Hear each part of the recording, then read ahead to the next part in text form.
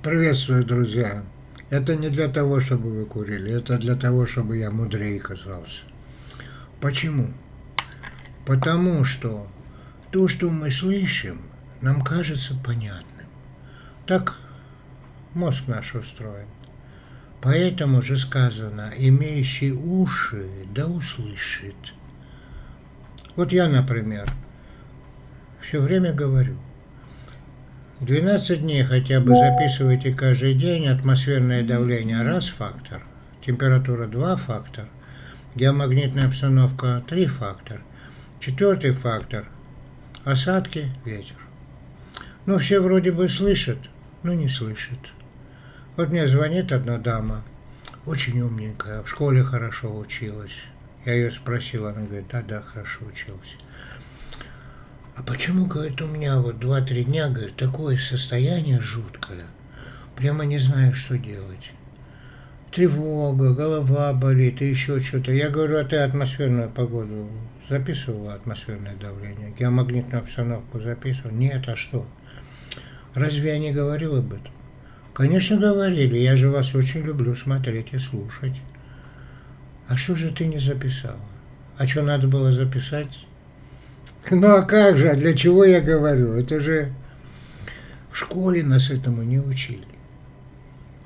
Поэтому я в нашей школе, человек будущего Homo Futurus, рассказываю то, чему у нас в школе не учили, а должны были учить.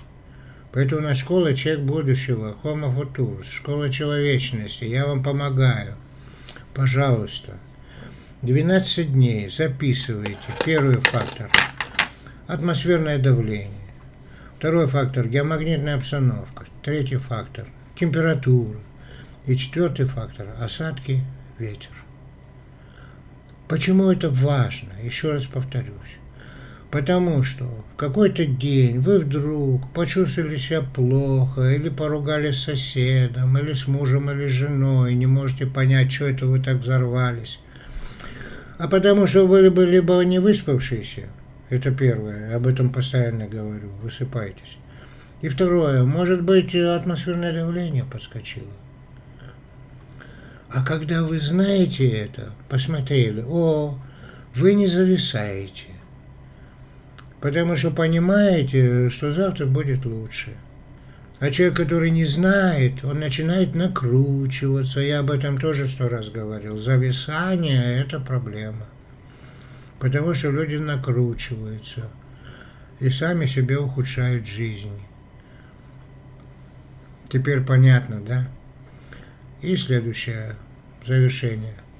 Вот я предлагал вам вместе с Валерией и с Александром Кроминым, чтобы вы сделали э, для мультика, который мы создадим, э, образ который помогал бы в комнате психоразгрузки вам показывать упражнения там или еще что-то показывал.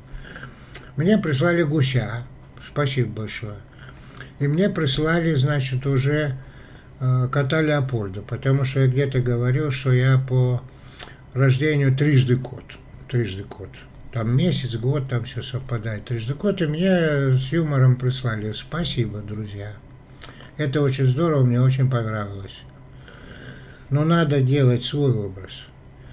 Не чей-то, который авторскими правами защищен, давно известный образ там. Я когда пример провожу, Незнайка, например, или Винтик-Шпунтик, например, или еще кто-то, я пример привожу. Не для того, чтобы мне прислали Винтика-Шпунтика. Он уже известный. Он уже авторскими правами защищен.